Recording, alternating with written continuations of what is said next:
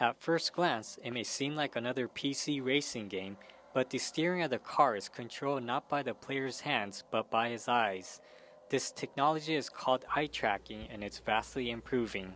Eye tracking itself, the process of using cameras and computers to figure out where somebody's looking, has been around since the 1940s, but the computers weren't able to keep up with the demands of processing of images coming from a camera as, as uh, frequently as you need to do it. LC Technology is one of the leaders in this assistive technology that allows people with disabilities to execute all the commands of a mouse and keyboard by just looking at the screen. Uh, bring up a keyboard and type what you want to say with your eyes and then look at a key that would speak it. So people that were locked in, that couldn't speak and couldn't move, were able for the first time to communicate quickly and easily there are about 40 companies in the world that develop eye tracking technology, and they are all each highly specialized, and LC Technology's own niche is its superior image processing algorithm. So if your eyelids are blocking your pupil, you may not be able to use another system, but you'd be able to use ours.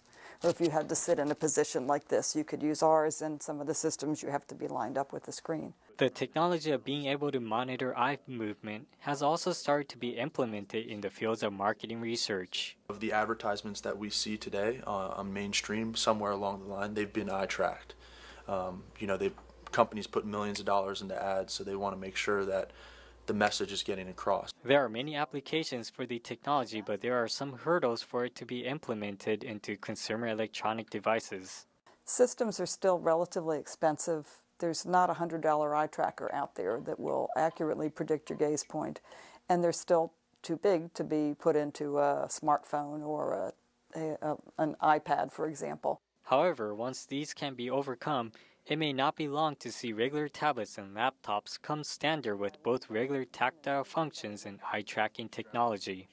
Kimiteru Tsuruta, Medill News Service.